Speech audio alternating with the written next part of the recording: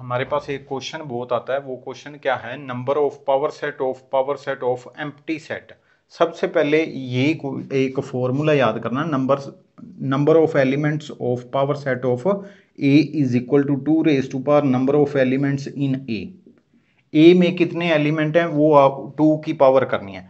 मतलब क्या है? अगर यहाँ पर एक पी है तो वो आपने पी कट कर देना है। आपने पी कट कर देना है। पीछे वाली की पावर ऊपर लिख देनी है। तो यहाँ पर अगर मैं बात करूँ तो पी कट कर देना है तो two raise to power number of element in five M set में कितने एलिमेंट होंगे? Zero that is equal to one answer one आ गया.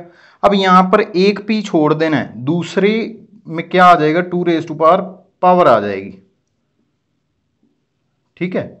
ये आ गया. अब यहाँ पर इसमें कितने एलिमेंट हैं? ये लिखे हुए. तो two raise to power one that is equal to two ये आपका होमवर्क है.